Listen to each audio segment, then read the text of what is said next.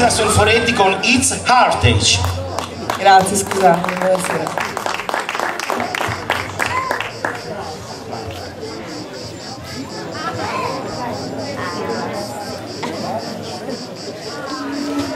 Thank